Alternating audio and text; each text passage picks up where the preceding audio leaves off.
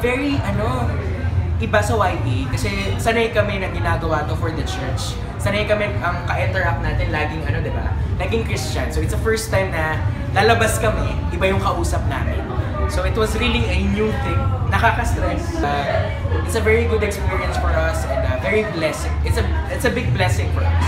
Iba siya in a sense na we have to find a venue, we have to um, search for guest speaker, Yeah. diba? Tapos iba din yung approach niya na unlike sa youth na party and dating, ito Oo. naman parang okay, Chill. chill, break time, at the same time, may meaning.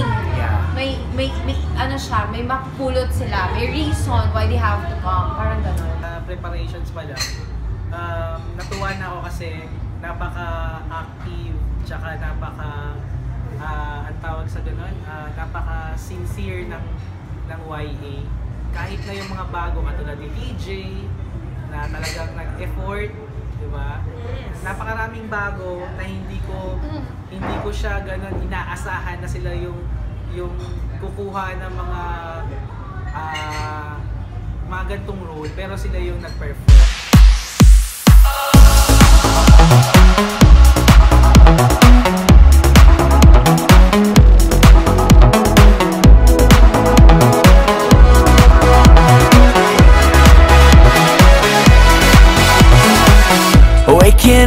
Knowing there's a reason. All my dreams come alive. Life is for living. With you, I've made my decision. Ang una talagang pumasok sa isip ko kasi July 30 pay, payday weekend. So medyo kinakabahan ako nga dahil sa traffic. Sa in- ordinary day talagang traffic na talaga dito sa Marcos Highway. So yun talaga, yun talaga yung nakaka-stress na part doon. Pero thank God kasi nakita mo talaga na kumilos si Lord in spite of the traffic, talagang ano, majority talaga, kung hindi man lahat, nakapunta. Then during the event, ah, maraming naging problema.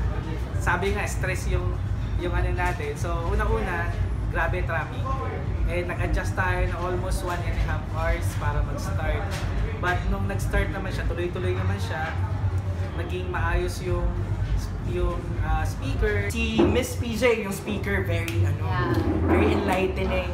Yung pagkaka-discuss niya is very, ano, hindi ka masyado, uh, you know, bugbog na information, pero may natutunan ka. um, during event din, no, medyo nagkakapaan, medyo okay ito yung program, pero adjust ng adjust, ganon.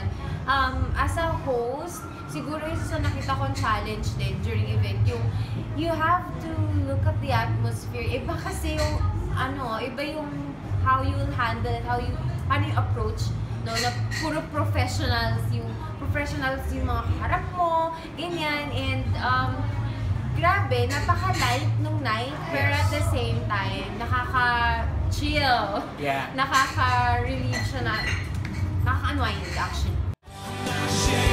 Yeah.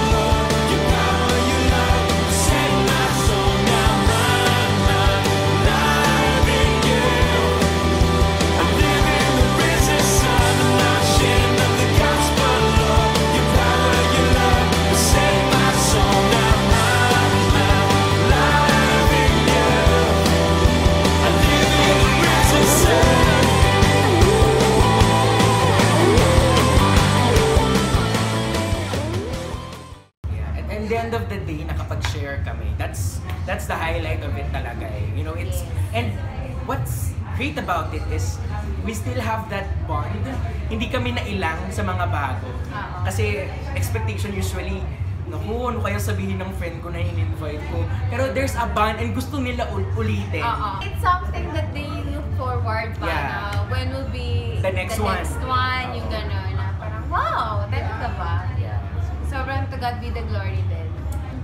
Talagang puno ng joy yung heart ko that we were able to share uh, God's Word sa lahat ng mga YA na pumunta.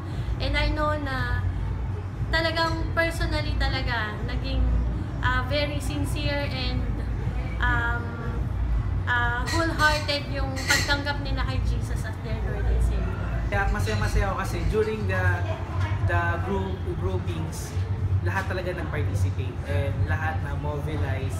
At alam ko maraming na-move, maraming napatanggap. And yung after, yun, masaya ang lahat. Masaya dahil ah, alam ko hindi ito success ng, ng YA lang, kundi ng church lalo Lord.